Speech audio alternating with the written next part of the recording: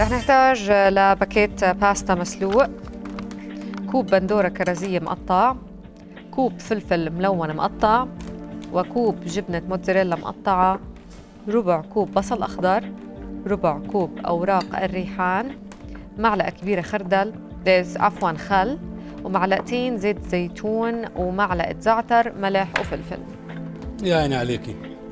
مية في المية. نبدأ في تحضير السلطة لليوم اللي عندنا اللي سلطة إيطالية كثير فخمة. عندي جيبوا أي نوع؟ باستا عندكم؟ أي نوع. وأسلقوها وبعديها اغسلوها منيح وزيتوها. راح أضيف الآن زيت الزيتون حسب المقادير.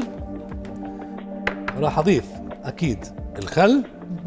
ما نكثرش خل. وبعديها راح أضيف الزعتر. الناشف ومن ثم أكيد الملح حسب الرغبة. راح أضيف البندورة الكرزية مقطعة إلى مكعبات. راح نضيف الفليفلة الحلوة.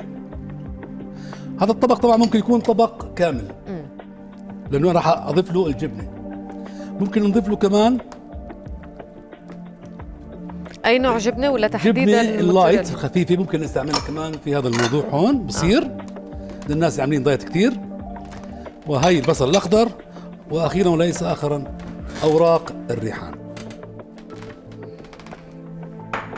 طبعا أكيد. هاي السلطة من السلطات اللي راح تعجبكم جدا جدا.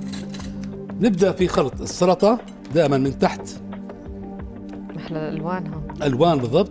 هي شوفي الفكرة بالسلطة دائما خلينا نستعمل دائما دائما السلطة أنا بتهمني جدا تكون ألوان فيها ألوان.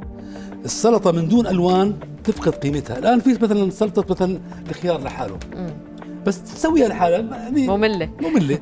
فشوف الألوان هاي محلاها السلطة هاي. colorful فيها ألوان كثير وفيها نكهات مميزة. جاي من الريحان جاي من الزعتر جاي من زيت الزيتون. ممكن نضيف لها شوي من الثوم كمان للناس بيحبوا الثوم. بسم الله الرحمن الرحيم.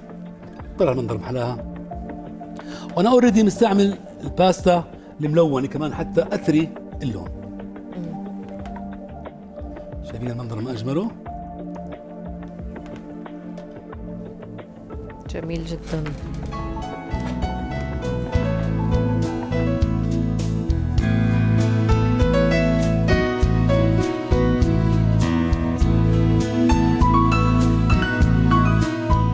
شكرا للمتابعة. ما تنسوا تشتركوا في القناة لتشوفوا كل شيء جديد.